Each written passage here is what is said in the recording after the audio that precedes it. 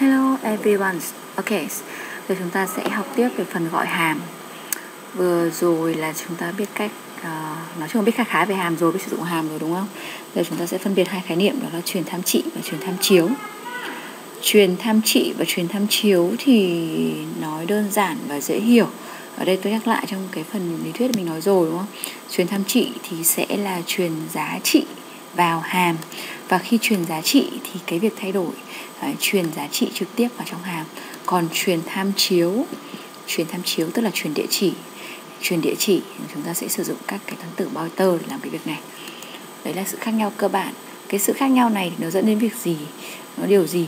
Để mà phân biệt giữa hai cái này thì ngoài cách mà sử dụng ấy, thì chúng ta tốt nhất là qua demo để chúng ta sẽ thấy được là bản chất khi mà truyền tham trị và truyền tham chiếu nó khác nhau thì nó sẽ uh, khác nhau gì về các cái biến truyền vào? Truyền địa chỉ thì có gì khác truyền giá trị? Sau khi gọi hàm thì có gì khác nhau? Chúng ta qua một cái ví dụ đầu tiên. À, ví dụ khác nha. Ok giờ chúng ta cùng đọc ví dụ này. Ví dụ này ở đây này. Cái này không có gì cả. Đoạn này inter swap inter ab có nghĩa là gì? Tôi khai báo một nguyên mẫu hàm hàm này có tên là swaps ở trong này truyền hai tham số tham số a và b. Kiểu dữ liệu này là int int ok. Cái này vẫn là bình thường đúng không? Không có gì cả. Tiếp theo này sau đó thực hiện dòng từ số 13 đến dòng 21 cái nhiệm vụ này có tác dụng gì? Đoạn này có tác dụng gì? Đoạn này chính là định nghĩa hàm. Lưu ý nhé dòng số 3 dòng số 3 là khai báo nguyên mẫu hàm. Và khi khai báo nguyên mẫu hàm thì chúng ta chỉ cần thế này là đủ đóng dấu ngoặc ở đây và chấm phẩy là kết thúc. Chỗ này mới thực sự là cái hàm đấy nó được xử lý như gì. Đấy, thì chúng ta sẽ thực hiện xử lý ở cái đoạn này. Đấy. đoạn này là cũng truyền vào hai biến AB đây khai báo bằng biến tem biến tem bằng A A bằng B B bằng tem. Đoạn này có quen không nhỉ? Đoạn này là nhớ lại với cả cốc cà phê với cả cốc xoài đúng không? Làm sao đổi nước từ ờ, làm sao để mình đổi đổi cái cốc ví dụ có một cốc màu xanh chứa cà phê cốc màu đỏ chứa sinh tố chẳng hạn thì bây giờ làm sao mà đổ đổ sinh tố sang cốc ừ, màu xanh? Tức là cốc đang chứa cà phê, còn cà phê thì lại đổi vào cốc chứa sinh tố. Làm sao nhỉ? Không phải đổi lẫn được đúng không? Vậy sinh ra một cốc thứ ba là biến tem đúng không? Cái bài toán này, bài toán đổi chỗ đúng không? Đổi chỗ phần sắp xếp. Ok. Thế ta nhắc lại thôi. Tóm lại là cái dòng từ số 15 cho tới 18 là thực hiện việc đổi chỗ giữa hai biến AB ở đây là in ra một cái dòng swapping A bằng A này được đặt vào đây B này được đặt vào đây. AB chính là hai giá trị trên này. Đã được đổi chỗ rồi. Sau đó thực hiện inner swap ok. Đấy là cái nội dung của hàm swap. Không có gì khó hiểu đúng không? Thực hiện đổi chỗ. Ờ, trong cái hàm này. Tiếp tục này.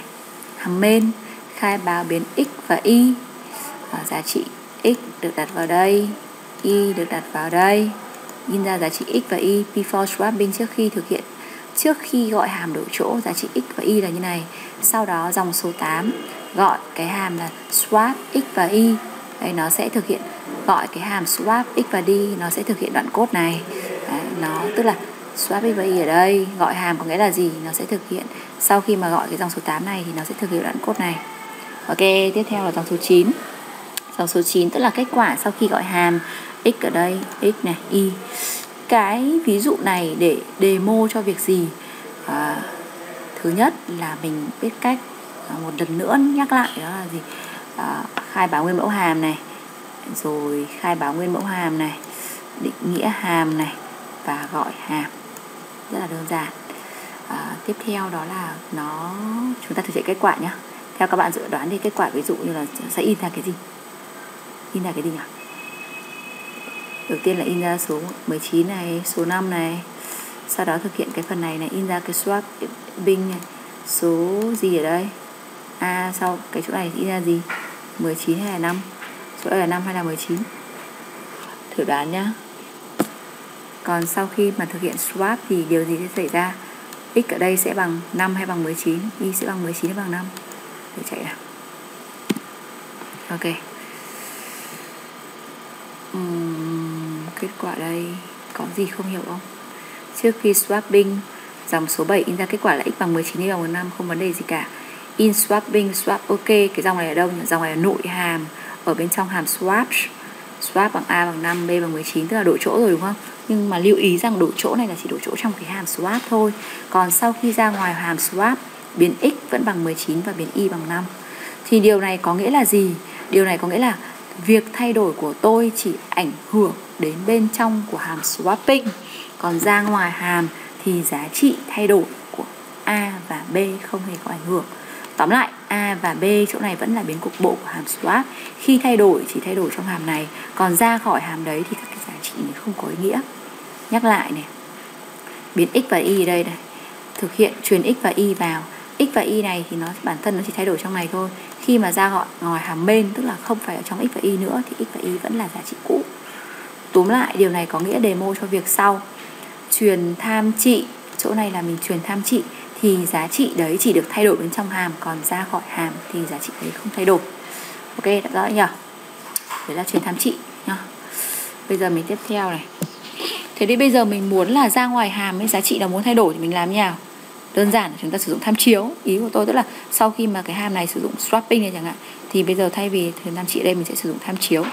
Tham chiếu, swap swap swap. Cái ví dụ đây này. Ví dụ này về cơ bản thì cái cấu trúc nó giống hệt cái ví dụ trước. Cũng khai báo nguyên mẫu hàm, cũng định nghĩa hàm, rồi cũng gọi hàm. Nhưng mà tất cả các cái tham số truyền vào. Nó không phải là tham trị nữa, mà nó là tham chiếu. Khi là tham chiếu thì khi định nghĩa hàm, chúng ta sẽ có thêm dấu sao ở đây.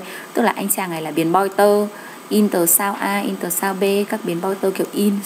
Tương tự như vậy, khi mà xác định định nghĩa hàm cũng thế. Khi mà mình đổi chỗ, mình cũng dùng toán tử là pointer bởi vì giá trị truyền vào là pointers vì là pointer cho nên khi gọi hàm swap đây, thay vì là với cái phần phần trước là mình truyền vào giá trị xy đúng không? Bây giờ không phải xy nữa mà sẽ là địa chỉ địa chỉ x địa chỉ y toán tử địa chỉ chúng ta biết rồi trong bài con trỏ rồi đúng không? Và và. Vậy thì chúng ta thử chạy nhá. Đây. Như đã thực hiện đổi chỗ được này. X 19 này y bằng 5 này. Sau đó x bằng 5 y bằng 19 bởi vì là cái việc thay đổi ở dòng từ số 18 đến dòng 20 ấy, nó tác động trực tiếp đến ô nhớ. Vì tác động trực tiếp đến ô nhớ cho nên là nó thay đổi sẽ là giá trị của cái địa chỉ đấy, đấy. như vậy là mình nhận biết được rõ ràng khác nhau này cái anh chàng này nếu mà thực hiện theo cái kiểu là chuyển tham trị à, thì mình không thay đổi được giá trị sau khi gọi hàm. Còn cái chuyển tham chiếu tức là sau khi gọi hàm thì giá trị sẽ bị thay đổi. Ok nhở nhắc lại nhá tham trị là truyền giá trị và khi mà truyền giá trị thì việc thay đổi giá trị chỉ có ý nghĩa trong cái hàm đó còn ra ngoài hàm không có giá trị. Còn khi truyền tham chiếu như này thì sau khi cái giá trị đấy mà trong trong hàm ấy nó làm thay đổi có gì thay đổi cái giá trị mà truyền truyền vào, tức là truyền từ ô nhớ địa chỉ mà. Nên là mọi cái giá trị này sẽ được lưu trữ. Nói hơi là ngoằng nhở nếu mà không hiểu thì các bạn cứ xem lại video. Ok. Đấy là toàn bộ kiến thức về hàm nhớ là phải học thật cẩn thận, thật cẩn thận. See you again see you again